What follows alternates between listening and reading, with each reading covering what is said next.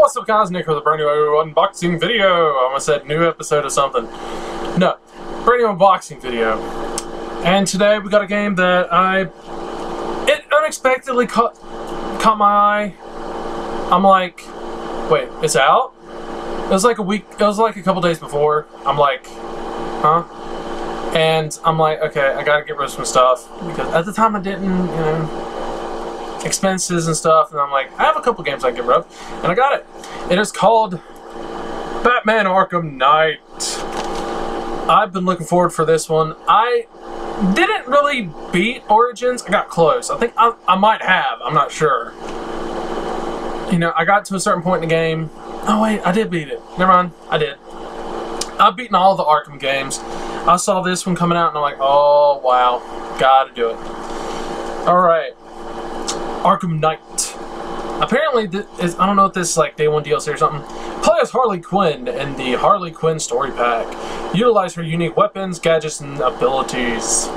And I read underneath, uh, you need to download it before 12-31-2025. Now I'm pretty sure the Xbox One will be irrelevant by then.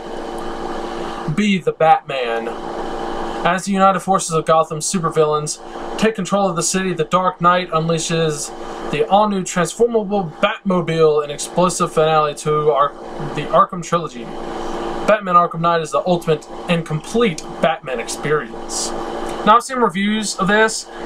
People's main problems was the Batmobile, which I think kind of sucks whenever you complain about the Batmobile. It's mainly because there's certain parts of the game where you have to use it and not you can. You know, I would rather having the ability to drive with it, not, you know, that's it, but... One player only, of course. Rated M for blood, language, suggestive things, and violence.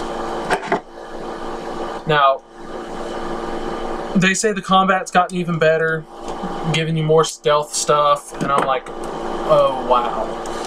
Uh, I plan on doing a video, but, you know, Xbox video, meaning no commentary, stuff like that. And I honestly hope to God this game is good. Because, you know, the only thing people complain about was Batmobile. Other than that, everyone liked it. I haven't seen any low scores. So it's like, they complained about the Batmobile, but they still gave it like a 9 and up. So it's like, alright.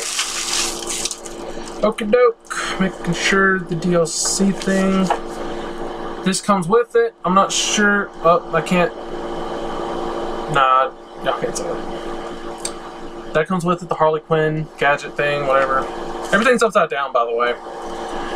And there is the game itself. It's like the uh, wheel of the Batmobile, which that's that's the one thing that drew me to this game. I'm like, you get to use the Batmobile.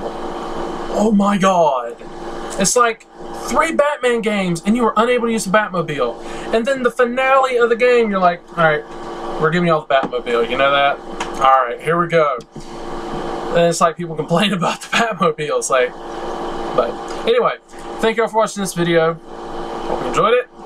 Stay tuned for Mystic Quest, or thank you for watching Mystic Quest, depending on when these come out. Not sure.